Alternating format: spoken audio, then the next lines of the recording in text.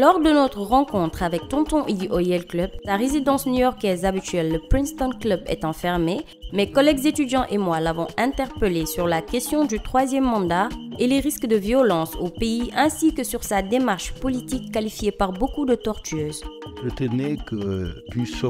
hier avec Wad aurait aujourd'hui. Je poursuis invariablement et inassablement le même projet politique dont les piliers demeurent constants. L'un de ces piliers est de faire de notre pays un pays souverain, respecté par tous ses partenaires, doté de moyens sécuritaires appropriés en personnel, équipement et infrastructures pour faire face efficacement aux menaces extérieures et intérieures afin d'offrir aux citoyens comme aux étrangers vivant parmi nous un environnement pacifié et sécurisé pour l'exercice de leurs activités légitimes. Un Sénégal où on ne marchera pas sur des cadavres pour arriver au pouvoir ou s'y maintenir. Un Sénégal qui mène une diplomatie de bon voisinage, d'intégration africaine et de participation à la promotion de la liberté, de la paix et de la stabilité dans le monde.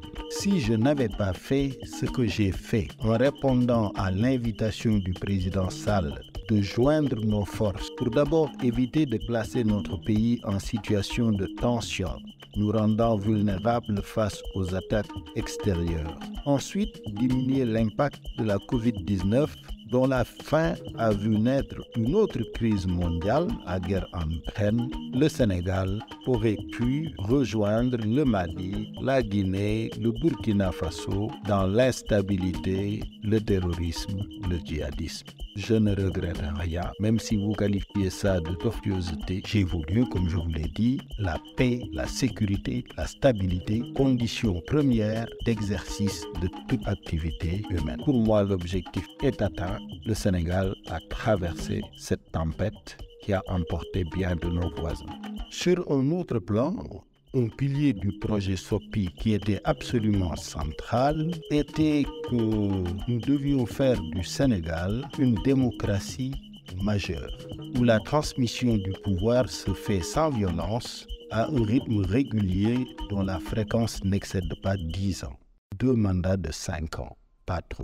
D'où mon combat contre Ouad en 2012, malgré l'immense affection que je voue à ce leader africain d'exception, qui aurait pu, à l'image de Mandela, bénéficier d'une sortie honorable, n'eût été l'ubris et la double tentation d'un troisième mandat et d'une dévolution monarchique du pouvoir. Voilà ma position sur ces questions-là. Il y avait dans notre projet d'origine bien d'autres piliers que j'aurai l'occasion de vous expliciter en fonction de vos centres d'intérêt.